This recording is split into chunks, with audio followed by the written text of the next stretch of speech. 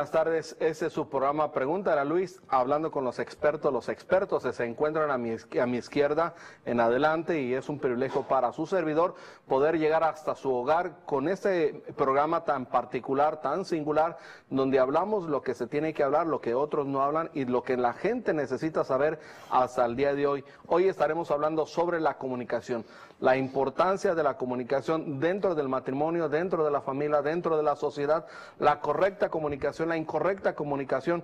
Recuerdo que hace muchos años en México se hizo un comercial que decía, pásame la ESA, que está a un lado de la ESA. A un lado de la otra, no te dije que a un lado de la otra. De esa, sí, de esa. Bueno, eso obviamente denotaba la falta de comunicación que había dentro de nuestra comunidad. Pero hoy queremos hablar con los expertos, con los profesionales sobre la comunicación.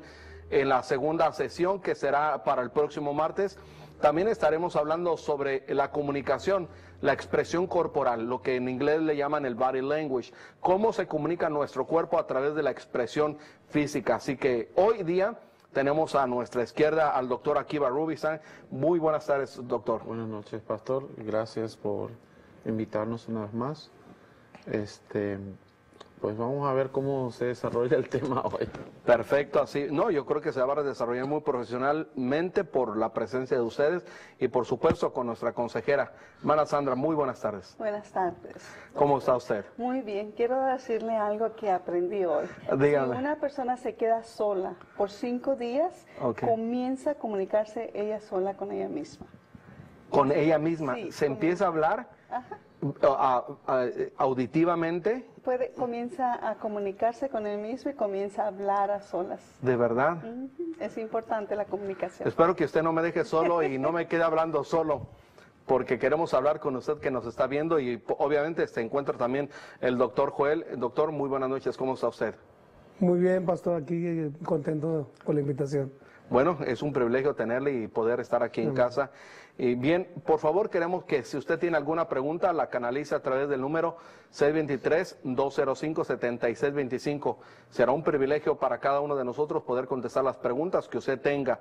Recuerde que es vía texto. No podemos contestar llamadas, pero sí podemos responder los textos en, en la forma que van este, llegando. Recuerde que el número de, a, marcar es 623 205-7625. Los expertos le contestarán.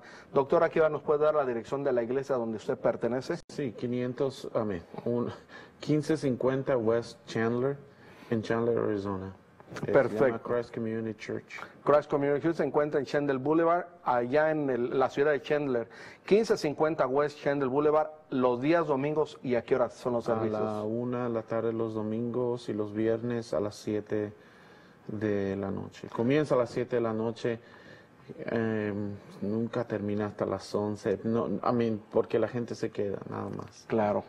Así que los miércoles, los domingos, eh, son los días de servicio. Sí, los viernes eh, enseño, estoy enseñando ahora un poco de exegética bíblica eh, una exégesis, exégesis, eh, exégesis, sana y luego de cuatro semanas vamos a volver a estudiar romanos. Perfecto. después hablaremos qué es una exégesis. Doctor Joel, la iglesia donde usted se agrega, que nos dé datos para que si alguien tiene necesidad de congregarse, pueda asistir. se encuentra en el 1002 Sur Primera Avenida, la Iglesia Centro de la Fe de Jesús, de los pastores Homero y Regina de la Fuente. Perfecto. ¿Y los días de servicio? Los jueves a las 7 y el domingo a las 2 en español. Muy bien, así que si usted tiene necesidad de una iglesia, también puede existir en el sur de Phoenix. ¿Y nuestra iglesia dónde se encuentra? siempre me ponen en, en, aprietos. Eh, sé que está la 48 Avenida y la Thunderbird. Yes, very close. el servicio es a la una de la tarde. Los domingos. Los domingos. Exactamente. y Pastor Mateos. Ahí estamos presentes trayendo la palabra 4530 West Thunderbird Road. Ah, exactamente ahí se encuentra el edificio de la iglesia. Todos los domingos a la una de la tarde son nuestros servicios. Pero si usted tiene hijos, niños, y le encanta que sus niños sean educados y preparados, eh, déjeme presumir de mi iglesia por un momento. Déjeme presumir. Se vale, se vale. Sí. Porque hemos hablado mucho de prevención y no tiene nada que ver con el tópico. Hemos hablado mucho de prevención. Eh, la iglesia cada año los maestros tienen que ser certificados para ser maestros. Amén. Y no tan solo tienen que ser certificados, sino también les checan el, el background, el, el, um, la cuestión penal, ¿verdad? Sí, sí. Y no tan solo eso, doctor, sino que también eh, se les da en caso de emergencia, de, de incendio o de un de una, un psicópata que esté tratando de matar, cómo tienen que hacer ah, laquear los edificios, cerrarlos por completo. Y todo el sistema de seguridad y es un entrenamiento que recibieron nuestra iglesia. Y interesante, yo llegué tarde. No estoy presumiendo de eso, me da pena, pero yo estaba en la televisión, por eso es que llegué tarde. Y estuve en la mala mitad de la conferencia. ¿Qué cree que me dijeron? No está usted certificado porque no, está, no estuve en todo el curso. Y me quedé calladito como niño bonito porque ellos tienen la razón. Porque las certificaciones para los que tomaron el curso, ¿verdad? En todo, en, eh, si los niños están siendo maltratados físicamente, verbalmente, sexualmente, eh, eh, presumo de nuestra iglesia. Amén. En nuestra iglesia también tienen que tener uno de estos. que es una tarjeta que, que el, el, estado de Arizona y a través del FBI te hacen un background y te dicen si, si la persona está, tiene un récord limpio o no y, y si es seguro dejarlo con los niños. Y es que para el día de hoy se necesita porque hay depredadores sexuales en las iglesias. Y bueno, y los niños que vienen de las casas posiblemente en algún momento están siendo violentados, están siendo abusados y los ah, lo- ah, regularmente la comunidad hispana por no lastimar a los padres eh, callan, no dicen nada y, y quieren entrar en un tiempo de administración. Y claro que la administración es buena, pero hay que reportar. ¿Algo que quiera agregar? Pues, eh, si vamos al tema de la comunicación, es tan importante y quiero darles otra, otro, um, otro tema cor- cortito, es de que en tu hogar, en tu familia, es donde tú aprendes a comunicarte con la sociedad. en el Eso hogar. Es muy importante. Depende cómo tú te comunicas en la sociedad, es como tú te comunicas en tu casa. Porque en tu familia, si tienes buena comunicación con tus hijos, con tu esposo, vas a poder tener un buen léxico en la sociedad. Correcto. Ahí se aprende. Es importante. En la casa. Así es. 100%. Sí, regularmente la esposa nos dice, hablas con todos, pero no hablas conmigo. Ay, a ver. Texteas con todos, pero no tex- texteas conmigo. Eh, bueno, a todo mundo le das beso y abrazo y saludo, pero a mí nada, ni haces la tarea. Mm. Eso ya es otro problema más grave, ¿verdad? Sí, sí. Pero Es un bien. tema para otro programa. Este, la tarea nada más. Hablaremos de cómo hacer la tarea en cuaderno de doble raya, que salgan las letras muy Con bonitas. caligrafía. Con caligrafía, exactamente. Bien. Comunicación. ¿Qué es la arte de la comunicación? ¿Dónde está el arte de la comunicación? Es tener una misma voz. Una misma voz. En otras palabras, Común quiere decir igual y vocare, llamado. Dos gentes, dos personas que no tienen el mismo llamado, no se van a entender, ok. no se van a entender. Tienen que tener el mismo sentido, el mismo propósito. El mismo llamado, El mismo llamado. vocare, Ok. de donde también viene la palabra vocación. No, no, decimos, hablam- cuando hablamos de vocación hablamos de trabajo, pero en este caso más bien se refiere a qué es lo que es tu pasión en la vida. Ok. Porque tú puedes dedicarte al real estate y tu esposo a otra cosa, pero los dos tienen una pasión en común, el evangelio, el estudiar, el predicar o el cantar, lo que fuese, ¿verdad? Y esa es, esa es el llamado en común que tiene, el común vocare. Ok. Y e- eso es, es clave para entenderse. So podríamos definir que el arte de la comunicación es aquel lenguaje que se utiliza para poderse entender entre más de una persona. Sí. Es como si, si, si yo soy flauta y mi esposa es trombón, vamos a hablar diferentes idiomas Ok. y no nos vamos a entender. ¿Cómo van a poder llegar a la unidad? Dios tiene que hacer un milagro. pero, pero sí, hay flautas y flautas, hay trombones y trombones, Claro. pero Dios tiene que hacer un milagro. Es el maestro de la comunicación, de, la, de poner que la sinfónica suene bonito. Díganos, consejera. Es la comunicación es la base. es donde expresamos amor, paz, expresamos todo lo que sentimos. Y existen dos tipos, puede ser verbal y no verbal. Y el doctor nos puede decir qué tanto comunicamos no verbal con nuestro cuerpo, La mayoría con del nuestra tiempo. cara, creo un 85%, 90%. La mayoría del tiempo, sí. Expresamos con nuestros ojos, con nuestras manos, con nuestros visajes, en la postura corporal, todo lo estamos expresando por medio de nuestro cuerpo. Ok. Pero la comunicación verbal es bien importante en la familia, le voy a decir por qué. Si ahorita lo que está pasando es de que no hay, estamos perdiendo la comunicación verbal. ¿Y qué está pasando? Los niños llegan al hogar, se van directamente a sus cuartos, agarran la televisión, el internet y alguien más le está comunicando lo que usted debería de comunicarles. Ok. Ah, comunicamos más con la expresión corporal, Así es. ¿sí? Pero le quiero comunicar algo, ¿me permite? Sí. Dice mi esposa, Ajá. ¿verdad? Dice, nuestra consejera, aparte de ser muy inteligente, se mira, mu- se mira muy joven y muy bonita. Felicidades. Ay, ay, le estoy, le comunicando lo que dice mi esposa. Muchas gracias, la queremos mucho.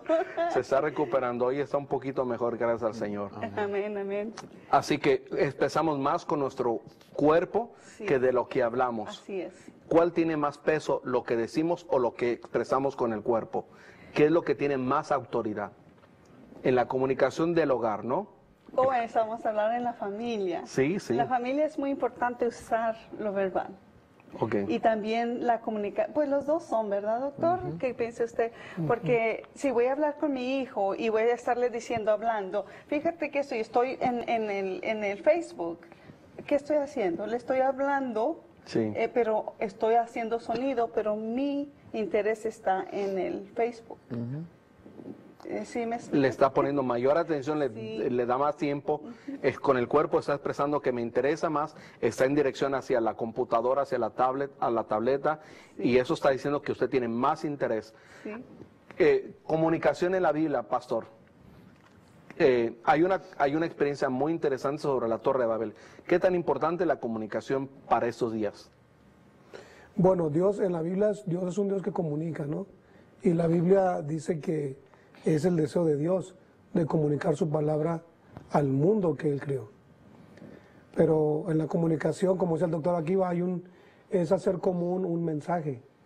O sea, que lo que yo quiero comunicarte, también lo, lo entendamos Que lo entiende el receptor. el receptor. El emisor en este caso es Dios, el receptor somos nosotros y el mensaje es su palabra, lo que se emite por parte del emisor. Ok, Muchas se pudiese distorsionar. ¿Cuál de los dos el vocabulario se puede distorsionar más? ¿El, el- el físico o el oral? ¿Cuál se puede distorsionar más? O sea, no estoy diciendo que está distorsionado, sino que el receptor lo toma distorsionado. No, no entendió lo que se le dijo. El verbal. Mire, ah, no importa lo que tú digas, solo importa lo que la otra persona perciba. Ok. Sí, tienes razón. ¿ok? Yo tengo un doctorado en lingüística y te puedo decir eso con autoridad. No importa lo que tú digas, solo importa cómo la otra persona perciba. ¿Cómo voy a verificar que entendió aquella persona lo que yo le quise decir? Bueno, si le dices algo y te tomó mal y, y viene un puñetazo hacia tu cara, entonces sabes que... Que lo Entendió como mal. completamente diferente. Sí. Por eso la base de la comunicación es la clarificación. Y prácticamente es el rompimiento de muchos matrimonios por la falta de claridad en el mensaje. Pastor, nosotros tenemos un filtro en nuestra cabeza que se llama Reticular Activating System, Ok. RAS. No importa lo que yo te diga, no importa lo que yo haga, tú vas a ver, percibir y oír lo que ese filtro permita pasar. Mm. Hoy tuve una experiencia. Una chica le decía a otra, te tienes que vender. Cuando el emisor estaba usando esta palabra, estaba en un contexto de utilizar ciertas técnicas para venta. Pero la muchacha cuando lo recibe re- se pone a la defensiva diciendo, yo cómo me voy a vender. Y ¿Lo tomó mal? él lo tomó exactamente. pero el emisor no verificó que el, la- el- el mensaje se entendiera con la intención que deseaba la persona. Y es aquí cuando a veces no percibimos que el emisor no está recibiendo el mensaje con la misma intensidad que se está dando de parte del, del emisor. Sí. Pero yo me preocuparía más por la persona que lo está recibiendo negativamente. Sí. Tal vez existe algún problema en esa área Sí. que ella trae con ella y pues no pudo defenderse. Porque usted me dice a mí, te tienes que vender, yo le voy a decir, pastor, ¿me puede explicar un poquito cuál es la forma que yo debo venderme? Si esta persona se cayó, obviamente hay un problema ahí. Sí, pero tú lo dijiste bien, bien dicho al comienzo. Ah, en la familia se aprende a comunicar. Porque comunicar no es la habilidad de hablar, es la habilidad de saber oír. Mm. ¿ok? La habilidad de saber oír. De hecho, yo tengo una boca y dos orejas para oír el doble de lo que debo hablar. Y La palabra de Dios muchas veces nos dice que el tonto parece, aparece por sabio cuando mantiene la boca callada. Muy interesante, a la inversa. Proverbios. Y por eso digo yo, no, no, eh, cierto lo que tú dijiste, a ella no la en- al comienzo 100% estoy de acuerdo, una vez más en la familia uno aprende a, a comunicarse. Esa persona no, no tiene los, las habilidades, los skills que tú tienes para decir perdón. Necesito que me clarifiques lo que me acabas de decir. Ok. Y lo peor de todo es que si la gente no sabe, no tiene ese estilo de comunicación. Y si tú le dices, eh, perdón, yo sé lo que te dije, pero quiero ah, asegurarme de que entiendes exactamente lo que quiero decirte, la otra persona puede tomar a mal y decirme que piensas que soy tonto o tonta y ahí comienza una pelea. ¿Verdad? Las grandes batallas empezaron por pequeños malos entendidos. Sí, pero, pero la cuestión, lo- a lo que me refiero es que ah, no importa lo que tú digas, solo importa lo que el filtro de la otra persona dejó pasar. En los Andes se comunican por sonidos, silbidos, de, de monte a monte. Y se estable, antes de que se estableciera este medio de comunicación, establecieron la guerra del, eh, eh, eh, perdón, el medio de entendimiento, que después de tantos silbidos esto significaba.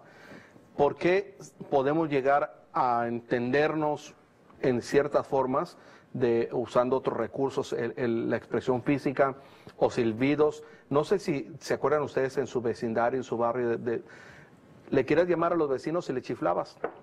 Incluso hay esposos que le llaman a su esposa por un chiflido que ya lo conocen, ¿no? Que es normal. y eso significa que le Es está llamando, familiar. eh, que es familiar exactamente, en- o, o en la puerta, ¿no?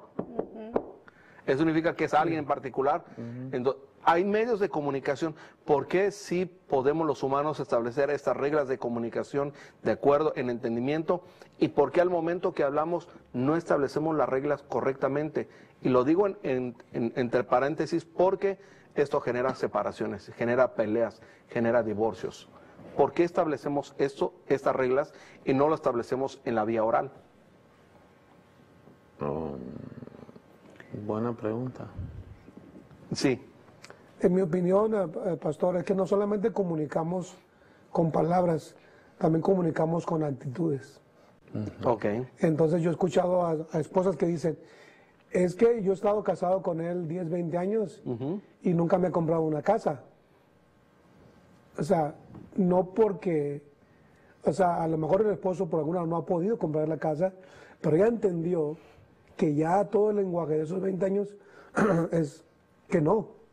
Cuando hay otras cosas que, que ha impedido de alguna forma alcanzar ese sueño, ¿verdad? Entonces, con la actitud de 20 años, de 15 años de casados, ella dice, es que él es así. Yo me he escuchado también a la esposa, es que él es así o ella es así. Entonces, ahí no están hablando de comunicación ni de palabras, están hablando de una actitud ah, ya permanente. Una aceptación de actitud consejera. También eh, lo más importante que yo he aprendido es de que es culturalmente también como nos comunicamos, porque l- un mexicano, la mujer mexicana, viene con una idiosincrasia que cree que es el deber del esposo comprarle Sí. o darle. cuando nosotros tenemos que aprender a compartir. ¿Por qué? Porque somos dos en uno. Exacto. No puedo decir, es que él no me ha comprado, es que él me tiene que dar, es que no, O es- tenemos que tiene- comprar. es un asunto cultural. Es, Ajá, es sí. muy cultural. Y yo peleo mucho porque lo que yo manejo es porque yo me lo compré. ¿Sí me explico? Sí. Yo no me casé con mi esposo para que él me comprara, ni para que él me mantuviera. Pero ese es otro tema y peleo mucho yo con eso porque un hombre no es para que te dé. Es, un- es que bueno que Dios te dio un hombre buen proveedor, pero no tengo yo en la mente de que un hombre me tiene que dar todo. Dios me dio dos manos, manos, un cerebro y dos pies para que yo pueda comprar las cosas que yo necesito. Yo comentaba eso, pastor, doctor, aquí va porque yo como pastor y como consejero me he encontrado con parejas que, que por la gracia de algún consejo de la Biblia y me encuentro con esa actitud y que no es de un año, es de 10, 20, 15, 20 años, de toda una vida de casados. y, y me encuentro con, con personas que de esa actitud comunicativa que a cierto grado se separaron. Así. Y cuando yo le pregunto a ella o a él por qué, por qué se separaron, cuál es la razón, si la Biblia nomás permite esta y otra cláusula, ¿no? Sí, claro. Teológicamente hablando, bíblicamente hablando. Y me dicen, es que él nunca me compró una casa. O, o viceversa, es que ella nunca cambió. Qué interesante. Entonces, eh, la comunicación ahí no es lenguaje, o es un lenguaje o un mensaje eh, a, a través de una actitud y luego de por años. Perfecto. Pues estamos obviamente aquí en la mesa de mi casa, que es su casa, y estamos hablando del estudio. Tenemos un café preparado. De seguro usted está, está en su casa cenando unos ricos, sabrosos huevitos con frijoles, pancito con frijolitos. No, Pero nosotros invite. tenemos el café preparado. Nos vamos a ir a una pausa comercial porque queremos tomar café juntamente con usted. Queremos comunicarle con una tacita de café. Así que vamos a ir a una pausa comercial y regresamos en un instante con usted hablando sobre comunicación, la importancia de la comunicación clara, emisor-receptor. Regresamos en un instante con usted.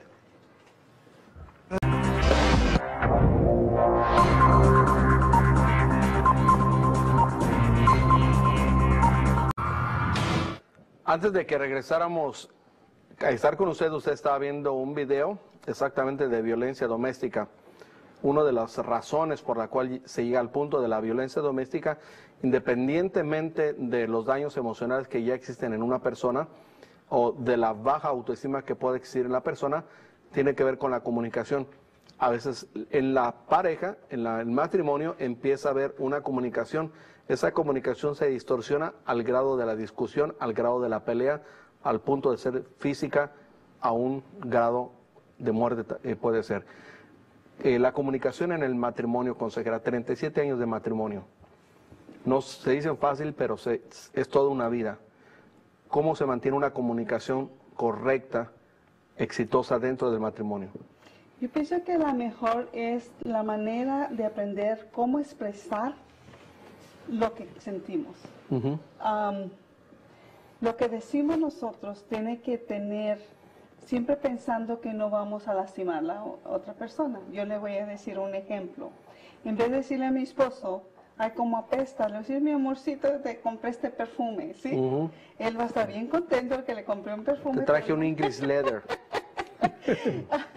¿Sí me explico? O si tiene mal olor de su aliento, yo no le voy a, si yo le digo, lo voy a traumar. Pero si voy y compro una pasta o un scope, le digo, mira lo que compramos, vamos a usarlo. ¿Sí me explico? Es la manera en que tú estás comunicando.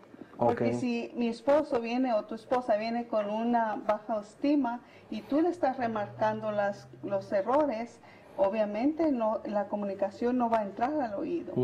O le puedes decir, amorcito, cuando me casé contigo eras como un león con un- una larga, hermosa, y, y- pero con un gran rugido, pero ahora pareces dragón porque ya No.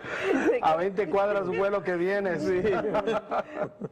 Ah, otro sería Me que- acuerdo cuando yo tenía pelo, hace mucho todavía tiempo. tiene ah, que yo he visto Como un es- león. es de Como que un león. no aceptamos a la persona como es, lo queremos cambiar.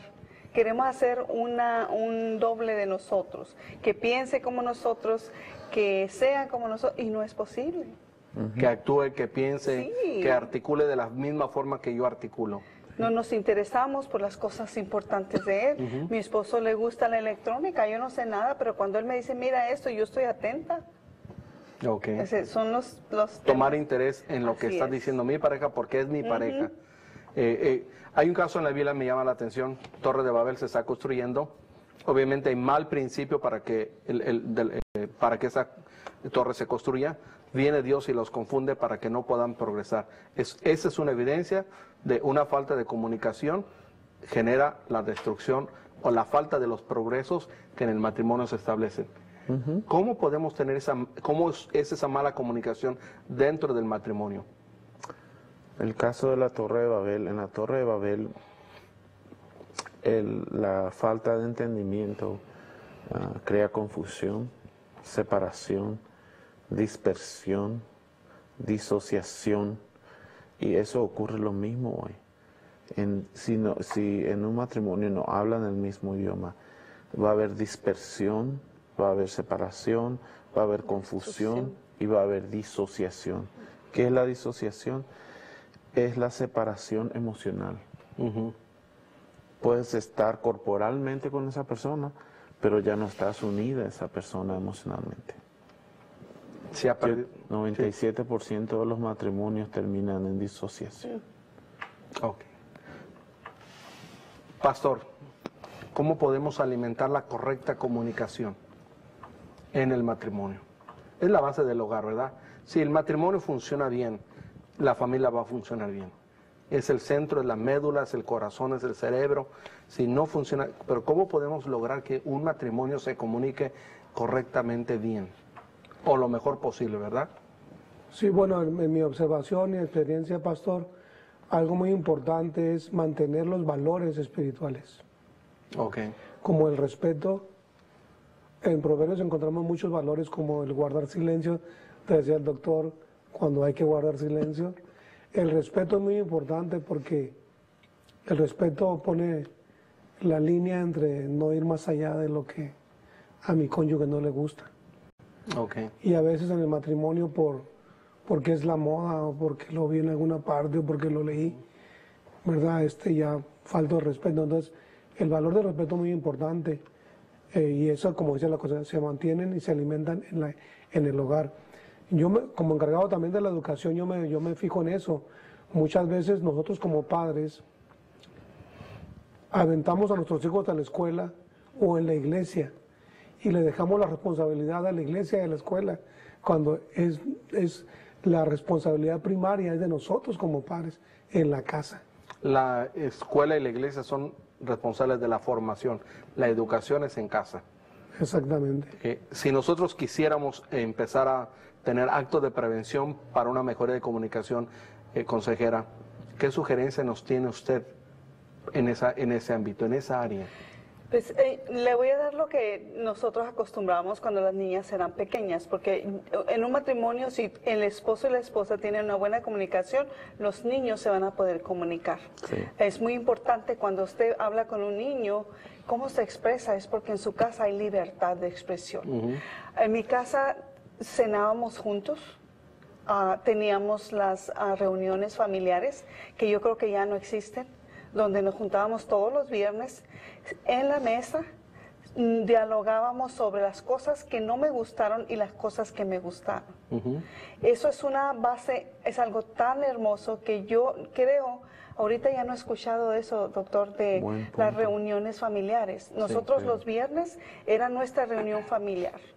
Todos teníamos reglas. Había una persona que lo era el líder, que era mi esposo, y podíamos hablar de que no me gustó de mamá, cómo me hizo sentir y qué es lo que me gustó que me hizo sentir bien. Creo que ahí comenzamos una buena relación y buena comunicación. Creo que nos llevó a otro nivel más superior de lo que estábamos hablando. Creo que regularmente, sí, creo- y no, y es correcto, porque regularmente nos sentamos a la mesa y socializamos a la mesa, pero no nos sentamos a evaluar la conducta de nosotros como padres para con hijos. Regularmente el padre lo que trata nada más es de imponer o de di- dirigir en su forma de pensar, pero nunca se sienta a evaluar su conducta delante de los hijos, cómo te sentiste Eso es lo que hacían ustedes. Nosotros cada viernes tomábamos una hora de sentarnos y hablar. Tenían la libertad de expresar. Mamá, ¿te acuerdas que me pegaste porque perdí esto? No fue así, mamá, fu- hice esto. Ellas tenían la libertad de expresar lo que ellas sentían. Mi trabajo era pedir perdón por lo que había pasado. Y sucesivamente íbamos, cada uno de nosotros podíamos expresar cómo nos sentimos y qué nos hubiera gustado hacer. Mm. Y aparte desarrollábamos un menú. Am, ¿Qué íbamos a comer? Cada uno de nosotros podía escoger un día de la semana y a veces yo quería pasta, eh, Dr. Akiva quería tacos y Mm, entonces desarrollábamos un menú para la semana entrante.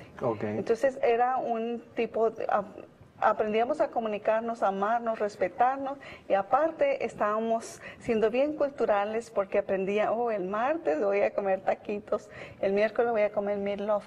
Era un- una reunión familiar y creo que nos hemos olvidado de esa parte. Claro. Es una de las primeras fases para poder tener prevención a la disfunción del matrimonio y de la familia, es sentarnos a evaluar nuestra conducta por lo menos una vez a la semana. Una hora. Doctor. Mira, el mudo, el mudo también comunica. Entonces, para ver que la comunicación es supraverbal.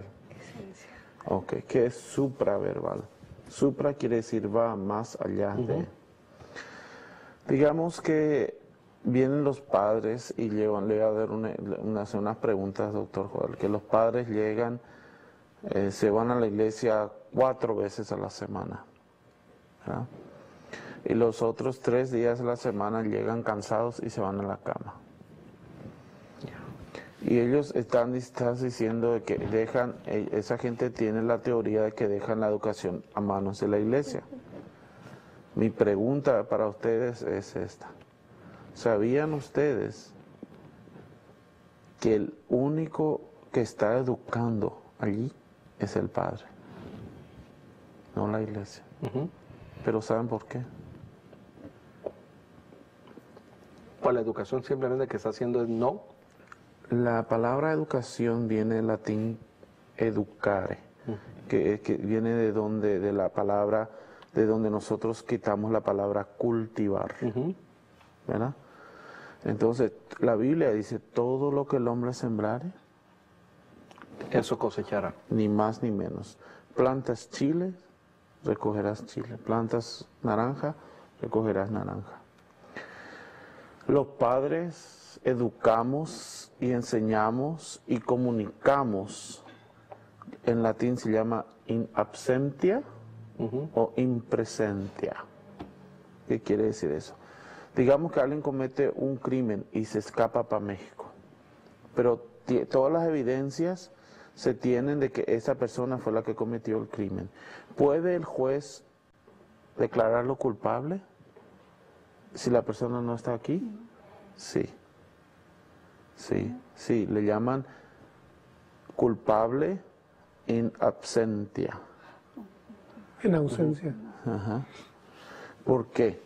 Porque nuestra presencia o nuestra ausencia comunica algo a nuestros niños. Siempre, siempre, siempre estamos comunicando algo. Tú dijiste que hay varios tipos de comunicación y es cierto. La, comunicación kinestésica, es decir, corporal. Que mi cuerpo, que mi actitud, que mis, que mis ojos, que mi rostro, que mi boca, eh, que mis músculos están comunicando. Estoy comunicando y siendo comunicado 100% del tiempo. Ujú.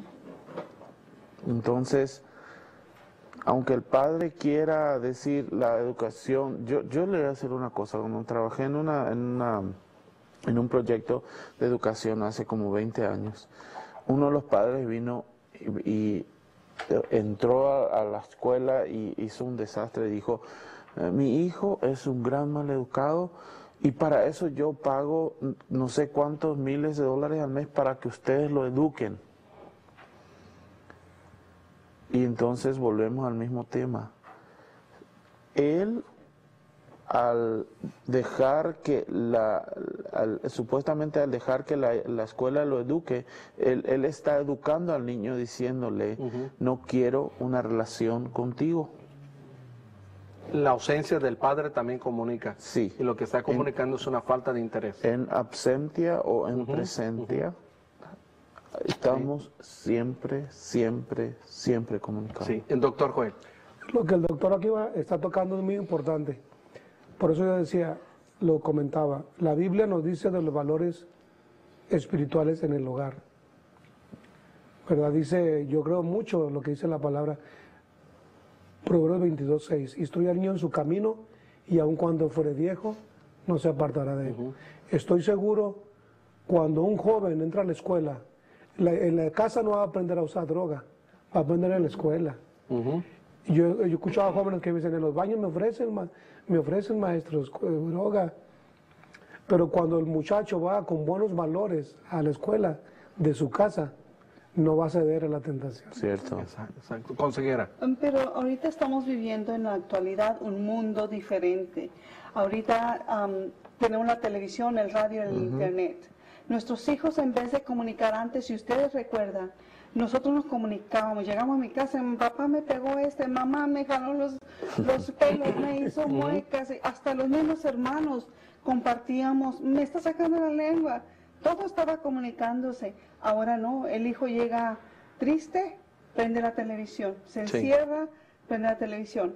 Llega contento, se pone sus earphones, sus eh, Audífonos. audífonos y escucha música y se pone. No hay una comunicación. ¿Por qué? Porque estamos viviendo tiempos diferentes. No, no existe un intercambio obvio, pero sí hay una comunicación. Está- el niño está comunicando, no quiero una relación con mi padre. Fue lo que es, es lo que están cultivando de los padres. Pero nosotros lo Se está lo creamos, comunicando con la Sí. actitud. Con Sí. la- sí, Pero esto fue desarrollado por nosotros. Sí. por los padres. Sí. Los padres implantaron y el niño está desarrollando la conducta. Sí. Ahora, aquí está el punto, realmente. Por eso es que la comunicación es supraverbal. Sí. Es- es- Eso es importante. que Le voy a poner un ejemplo, pastor. Simplemente el niño, los psicólogos dicen que un niño a la edad de 7 años, doctor, Ya se formó su mente. ¿verdad? Yo de lo que he leído de psicología, a los 7 años un niño ya tiene, ya es, un, es una persona mentalmente desarrollada. Ok. Ahora, Entonces cuando, sí. cuando, para que no se me vaya la idea, entonces lo que decía la, la, la consejera es muy importante. Hay algunos distractores de la comunicación. Sí. Y hay, inclusive hay palabras que son enemigas del matrimonio. Por ejemplo, la palabra siempre y la palabra nunca son enemigas. Cuando el esposo le dice, que tú nunca me haces esto, o nunca me preparas un café. Y él le dice, es que tú siempre haces esto. Entonces, ahora, hay distractores de la comunicación. Por ejemplo, eh, eh, yo en mi, en mi casa, cuando estamos comiendo, yo le digo a mi esposa, no me gusta que haya televisión ahí. Porque hay hogares donde hay una arriba del refrigerador o hasta le compran la tele mejor y eh, para estar comiendo y viendo, está distraccionando la, distrayendo la, ¿Qué, la qué es lo que se está cultivando? La educación externa, la importancia de los de otros medios antes Se que la está educación cultivando primaria. que la, al contrario de la mesa Ujú. de Sandra, la mesa de esa gente es un lugar donde en la familia no hablamos. Sí. Eso es lo que se está comunicando. Y es aquí donde queremos poner el, el punto. Estamos hablando de la comunicación y tal vez usted dentro de su hogar no se ha dado cuenta, pero no existe la comunicación, pero no sabe cómo quebrar ese hielo, no sabe cómo entrar en un ámbito de comunicación. Tal vez como padre, como madre, eh, tus padres te enseñaron la falta de comunicación y de igual forma ya estás comunicando lo que te enseñaron tus padres. Ahora la responsabilidad de ti como padre, de ti como madre, se viene a activar con tus hijos. ¿Te has dado cuenta que el estar viviendo en esta burbuja de comunicación, cualquiera que sea, y que te ha afectado, a- te ha dañado, no quieres que esto trascienda para con tus hijos? ¿Cómo podemos romper? ¿Cómo podemos cambiar este patrón? Obviamente no va a ser fácil, pero no es imposible. Recientemente un barco en la Antártida se quedó atorado, Atorado. ¿verdad? Y no pudo llegar el rompehielo hasta el lugar, los tuvieron que sacar con helicóptero. Ahí pasaron Navidad, ahí pasaron Año Nuevo. Lo que quiero decir es de que el punto principal eran las personas, no era el, no era el barco. Lo que importaba eran las personas. La rescataron, porque había un interés en ellos. Rescate su hogar, rescate su familia, pero hay que cambiar los patrones.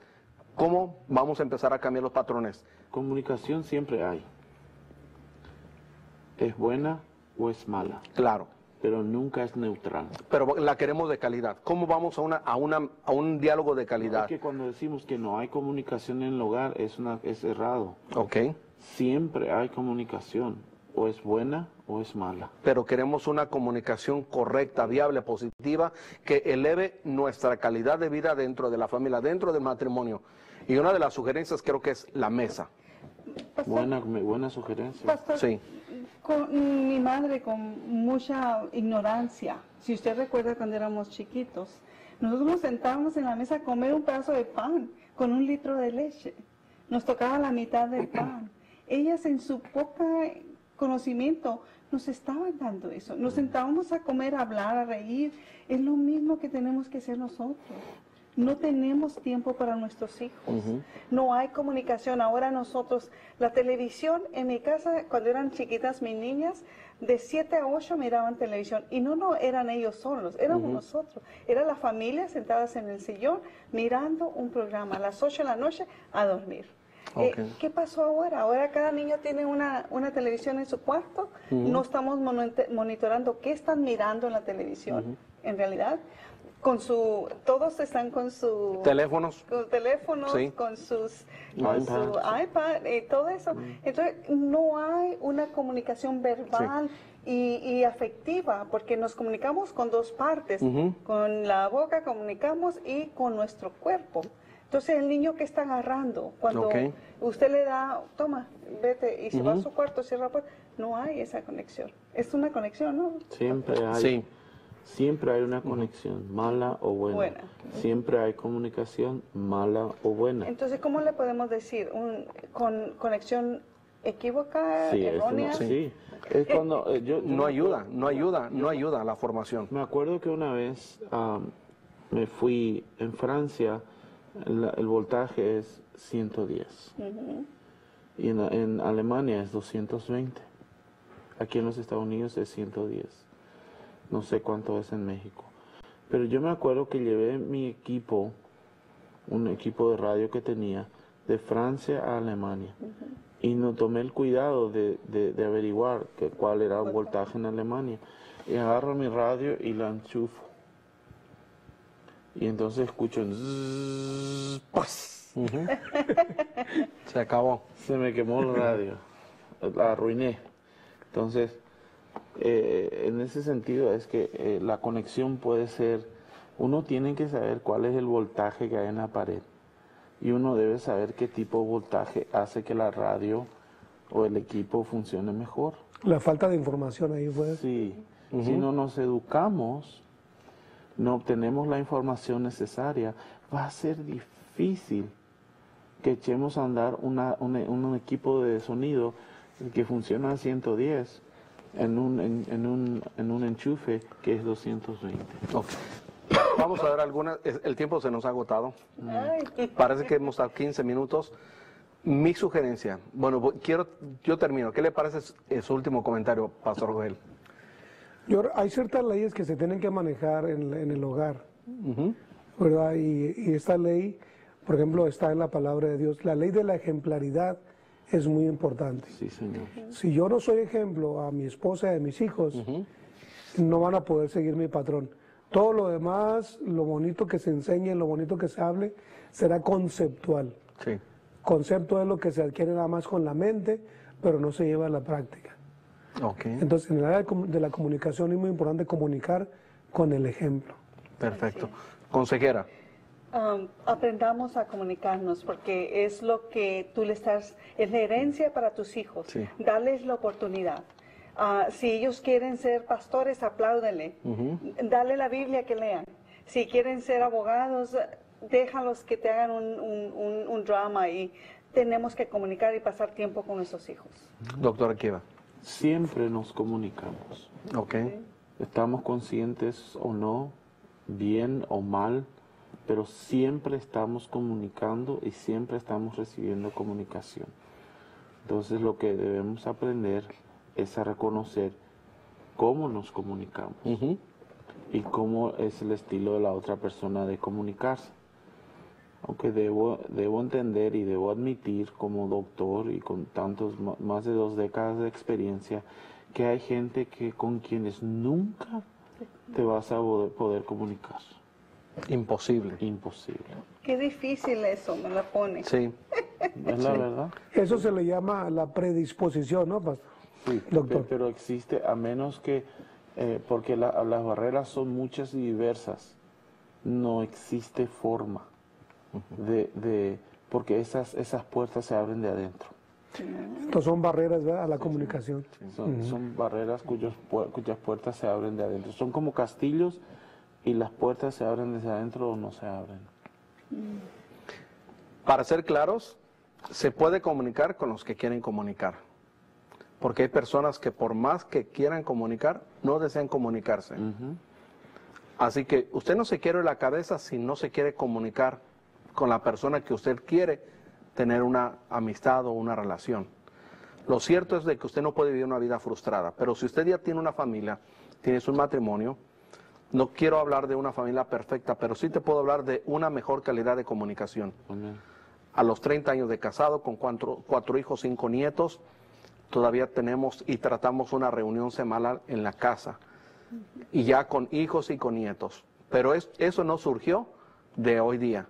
Eso inició desde que cuando mi esposa llegaba de casa, yo, perdón, del trabajo y su servidor llegaba del trabajo, los muchachos de la escuela, a la mesa todos comíamos juntos, nadie comía por separado, todos a la mesa, mi esposa nos cocinaba muy sabroso y todos dialogábamos, pasamos un momento, jug- jugábamos, vacilábamos, comunicamos.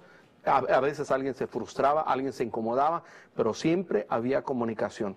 Eso no surgió ahí en la mesa, eso surgió en base a la comunicación de mi esposa para con su servidor. Así que a veces los factores del pasado, las heridas del alma, nos traen ciertos estragos, los cuales te lastiman.